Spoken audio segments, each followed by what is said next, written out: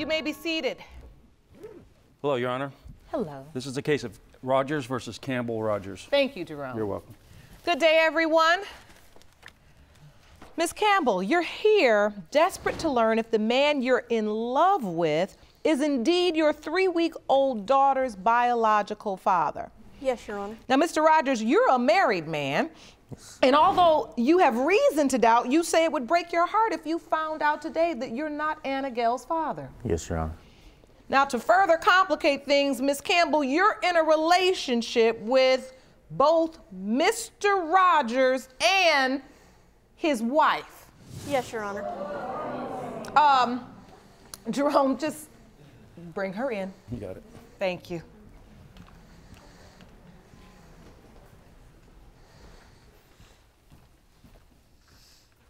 All right, so I've got to start with you, Mr. Rogers. Please tell the court about this unconventional relationship you're in uh, with your two wives, as you call them. Me and Angela have known each other for 24 years. We've been married for 20 years. And we met Gracie where we worked at, and they kind of hit it off together. She brought Gracie into the relationship just for herself. I knew she liked women, so I kind of just let her go ahead. Okay, and how did it progress? I let them, you know, have their relationship. I got brought into it about a year later. Gracie wanted to have children. She said she was getting to the age where she wanted to have kids. So Angela told her, she said, the only way you can have children is if Thomas is the father. I agreed, and that's how our relationship started out between all three of us. So let's just be clear. You all live together. Yes, Your Honor. We all live together. We all sleep in the same bed. We got three boys, me and Angela.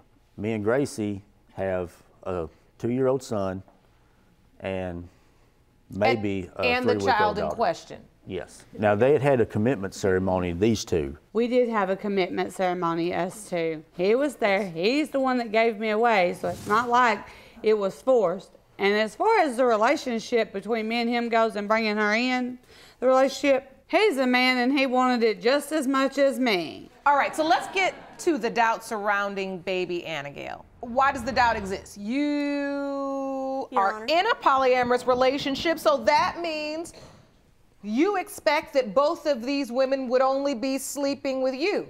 That was the whole situation. That's what you, you know, felt I like was the deal to be was. The, I was supposed to be the dad of her two children. How did we get here? What happened? They decided they was going to go to Phoenix, where Gracie's Honor, mom may I- may lived. I say something, please? Yes. We had, me and Angela had went to Phoenix to pick up my mother, Okay. and I had told her about the swingers club that I used that I used to go to, and we had wanted to go there, and she and she agreed. Okay, Your Honor, may I interrupt? Okay, that is not completely 100% true. Okay, so somebody, Let me explain somebody how tell this, me the truth. Okay, I'm going to tell you the truth how this went down. She decided she wanted to show me some of the things that she used to do. One of them was a swingers club. I did not particularly want to go. Finally, because I love her, I relented and I went. When we get there, I thought it was just a regular club. People are dancing, they're drinking at a bar. It looked normal. I mean, other than it was a swingers club. So did you not say, So, well, now, we shouldn't have sex? Hold on. So, if you're standing before me, you weren't just dancing at this club. Well, And it wouldn't be called a swingers club if it was just a dance club. So, what happened? Well, they had, I didn't know at the time. She got really drunk. She started talking to some guy, kissing on this guy. Well, I didn't know there was rooms in back. Between both of us drinking a lot, we ended up in the back in one of the rooms that they have set up. We ended up having relations with this guy that we don't even know. You both have sex with this guy Yes, Yes, Your Honor. without protection? Yes, Yes, Your Honor. Mr. Rogers, you really didn't see this coming. No, I didn't. I, I, I didn't see any of this coming. I thought we had a good relationship. You know, me and Gracie, we, we have a, a son together, two-year-old son. You know, she wanted another child, and I thought that's what we was, you know, what we were going to have together. And for all this to happen, I, I don't know what's going to happen now. So, as you look at baby Annagale, do you feel like she's yours? Do I you- want her to be mine. I see her every day. I try to spend as much time with her as I can. When I get off from work, she wakes up, I get her. So even after you found this out, even after you knew all this, you still come home from work and that's what you want to do is spend time with your baby girl and your children. Yes. I went through my life without a dad. You know, he was there one day and then I didn't see him again for 10 years later. Oh. I don't want none of my kids to go through that. You know, whether they're or not. You know, it's not the kid's fault. And Your Honor, I have here evidence of Conception. conce- the conception date, and I also have a calendar Oh. of the conception date. Of Jerome, let me Of see that. events. So, Because Mr. Rogers, while Jerome's getting that evidence from you, so while they're gone, in your mind, you thinking they're going to pick up her mother, Yes, Your Honor. That's and you were intimate with both women right before they left.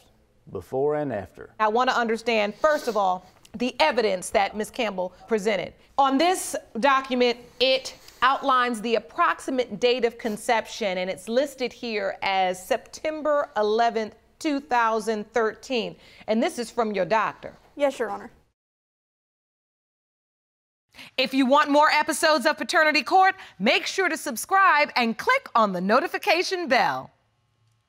As we look at your calendar, your doctor's saying here that your date of conception is the 11th, and when we look at the 11th, there's no one, but right there the day before would be potential father number two. Yes, Your Honor. That's really close to the 11th. I know in my heart that I did mess up. I did. And I didn't mean for the, all this to happen. But I want him to know that, of course, he, you know, you might not be the father, but I hope that you are. When did you find out about this incident? Well, it was about seven months into pregnancy. Now, the whole time going through this, you know, I was there. I went to the doctor's visits. I went to the ultrasounds. May I say something about it though? That was our fault. I feel really bad. There's no, you know, there's not no amount of times we can apologize, but we did decide to keep it a secret. So that, you all that was decided- us How many times as we a can say we're couple. We decided to keep it a secret. But the thing about it is, it's her fault. I mean, it's my fault for not telling. Don't get me wrong, because I should have told. Well, you were up in front. this, too. But she was the one texting her friend on Facebook and left her phone open, and that's how he found out the secret. polyamorous relationships are one thing, then you got poly cheating, that's another thing. You guys got a lot going on here. You got him in a relationship with you all, you both cheat, but now you gonna blame her and say she's the one wrong because she left her phone out. I don't know how many times I can say I'm sorry to you. Well, how do you think I feel? I'm going through the same issue with my uh, 18 year old from where she cheated on me all that long time ago. And I'm not sure Well, if he's people make, mis- people make mistakes, though. Okay, is No, there not something you wanted to say? You've got some more evidence? Yes, ma'am, I do. Jerome, will you please get that from Ms. Campbell?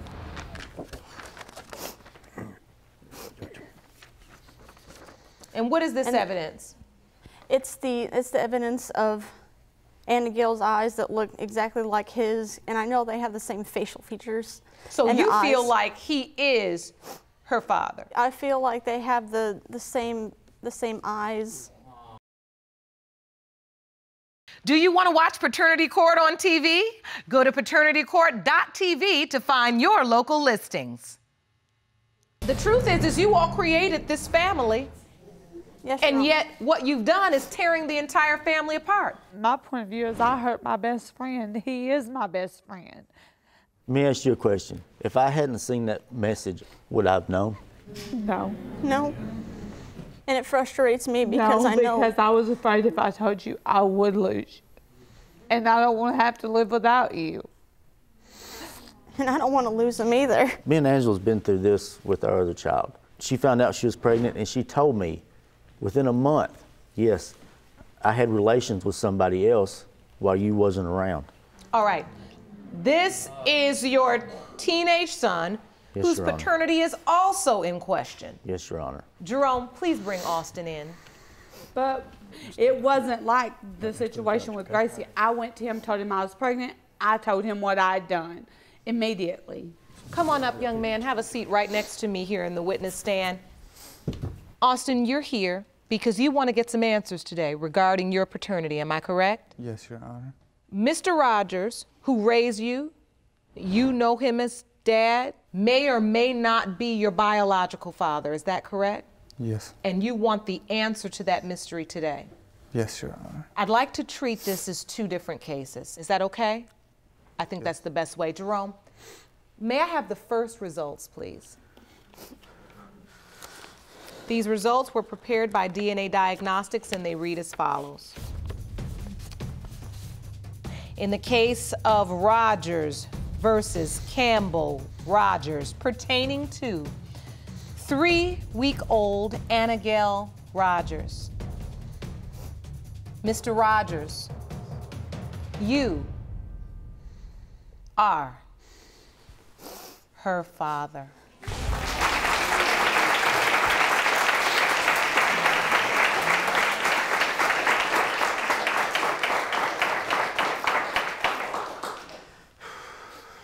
Relief? Thank you. You're welcome. Thank you for being there for her, regardless. You know, although many people may not understand the polyamorous relationship you've all decided you want to be a part of, what rings true is that you're a dad. Yes, You're Your a dad, and these are your kids, and you love them. Every one of them. I wish I could say court was adjourned and wish you all the best of luck, but this family has yet another paternity issue that needs to be resolved, and that relates to you, Austin. And I need to understand more about how did you come to realize that your paternity was in question at all? About three years ago, mm-hmm. I got diagnosed with Crohn's disease. Hmm.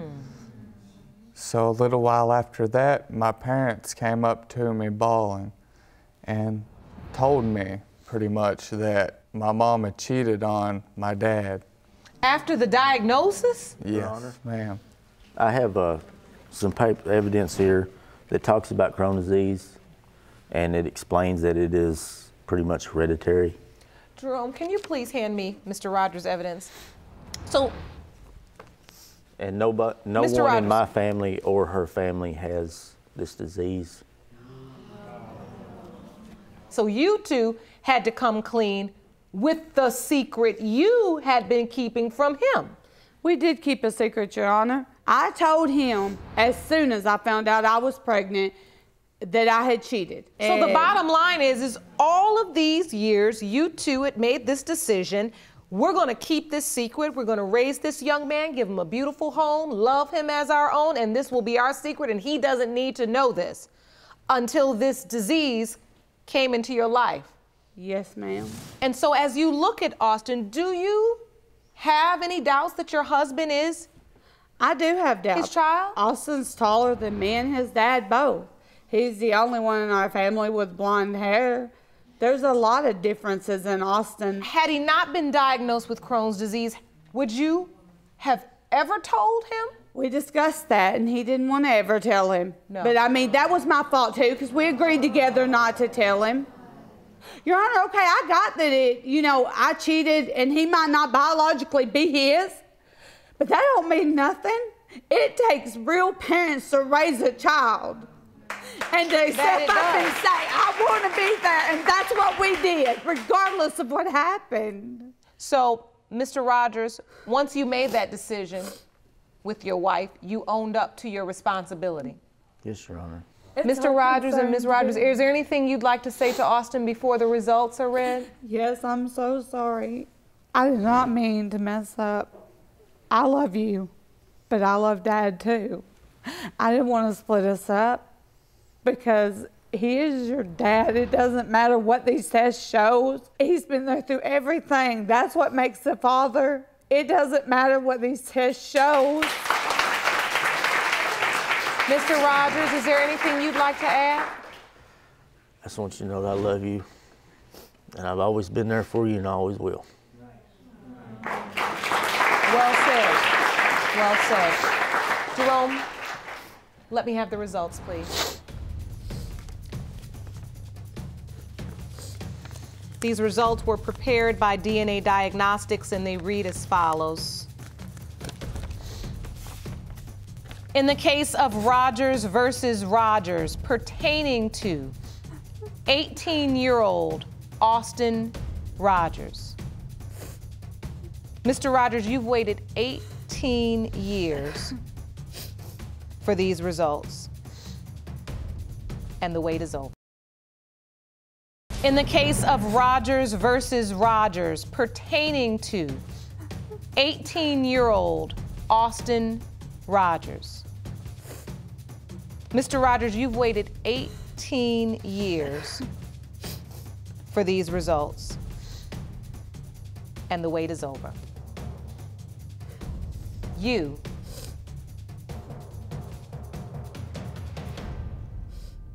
are his father.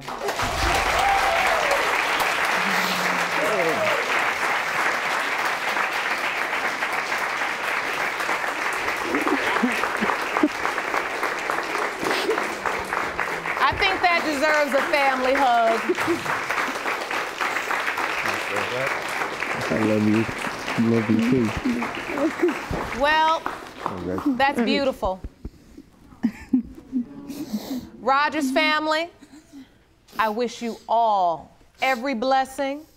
Austin, I want you to take care of yourself. Look, I'm not here to judge your polyamorous relationship, but what I will say is that this is what you choose to do, do it responsibly, like any other relationship, and put the children first. I want this family to understand that you all have decided to be just that. And so you have to you have to operate that way. Do we understand, ladies? Yes, ma'am. So be responsible, be respectful, but most importantly, be a family. Thank Court you. is adjourned. Thank you, Your Honor. Hearing these results today made me ecstatic, knowing that the father I've had all my life is my biological father. Knowing both of my children are my biological children, it just, it, it makes me, you know, extremely happy.